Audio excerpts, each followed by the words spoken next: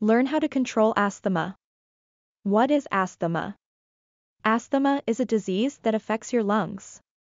It is one of the most common long-term diseases of children, but adults can have asthma, too. Asthma causes wheezing, breathlessness, chest tightness, and coughing at night or early in the morning. If you have asthma, you have it all the time, but you will have asthma attacks only when something bothers your lungs. We don't know all the things that can cause asthma, but we do know that genetic, environmental, and occupational factors have been linked to developing asthma. If someone in your immediate family has asthma, you are more likely to have it. Atopy, the genetic tendency to develop an allergic disease, can play a big part in developing allergic asthma. However, not all asthma is allergic asthma. How can you tell if you have asthma? It can be hard to tell if someone has asthma, especially in children under age 5. Having a doctor check how well your lungs work and check for allergies can help you find out if you have asthma. During a checkup, a doctor will ask if you cough a lot, especially at night. He or she will also ask whether your breathing problems are worse after physical activity or at certain times of year. The doctor will then ask about chest tightness, wheezing, and colds lasting more than 10 days.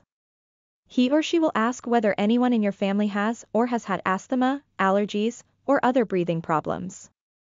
Finally, the doctor will ask questions about your home and whether you have missed school or work or have trouble doing certain things. The doctor may also do a breathing test, called spirometry, to find out how well your lungs are working by testing how much air you can breathe out after taking a very deep breath before and after you use asthma medicine. What is an asthma attack? An asthma attack may include coughing, chest tightness, wheezing, and trouble breathing. The attack happens in your body's airways, which are the paths that carry air to your lungs. As the air moves through your lungs, the airways become smaller, like the branches of a tree are smaller than the tree trunk.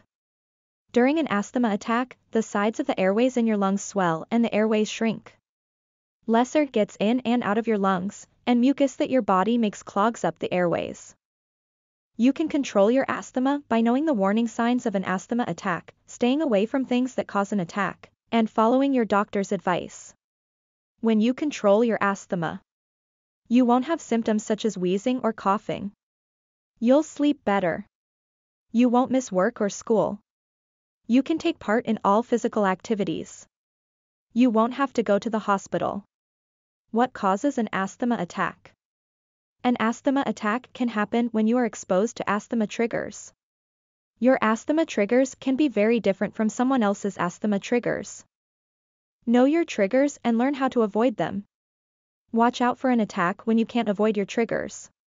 Some of the most common triggers are tobacco smoke, dust mites, outdoor air pollution, cockroach allergen, pets, mold, smoke from burning wood or grass, and infections like flu. How is asthma treated? Take your medicine exactly as your doctor tells you and stay away from things that can trigger an attack to control your asthma. Everyone with asthma does not take the same medicine. You can breathe in some medicines and take other medicines as a pill. Asthma medicines come in two types, quick relief and long-term control. Quick relief medicines control the symptoms of an asthma attack.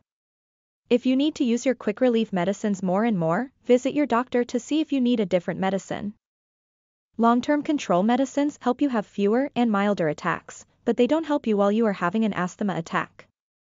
Asthma medicines can have side effects, but most side effects are mild and soon go away. Ask your doctor about the side effects of your medicines.